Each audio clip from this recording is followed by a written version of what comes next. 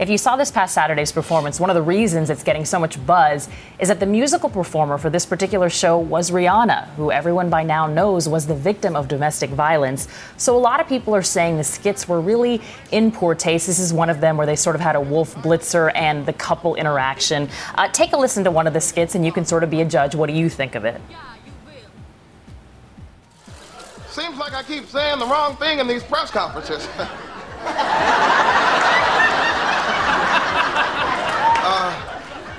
Today, I had an unfortunate incident with my golf clubs. Uh,